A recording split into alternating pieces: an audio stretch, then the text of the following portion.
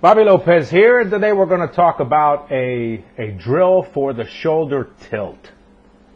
A lot of people talk about shoulder turn, they don't talk about shoulder tilt.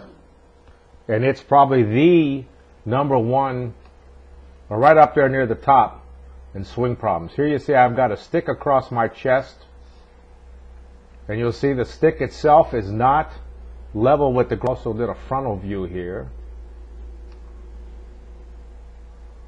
There you go. I got that ugly mug up there. See, I got a little bit of tilt there. That's probably a little excessive, but not bad. All right. We'll go back to that in a moment. Here we go. Now, we'll take it back. Right. Now watch. Now watch. Come on. Come on. Here you go. It's going to start to move now. There we go. Look at that. See? You're going to have to you will feel like, and it sort of doesn't look this way, but maybe will on the other view, this stick has to come up. See? Up. See how my stick right here is pointed out that way. At that very point of the swing, most people, their stick's already pointed that way. Because they've turned their shoulders, they didn't tilt them. Let's get to this frontal view again. Here we go. Now, I've turned this way. Now, here. Here we go. Come on. Turn. Now I'm overcooking it by a bunch on purpose. Come on. Up. See? See how I've got this very serious tilt down, which means for the point down here at the bottom to go down, this one has to go up. See? It's not around, it's underneath. Now, let me show you two in a real golf swing here. Here's Gentle Ben Crenshaw.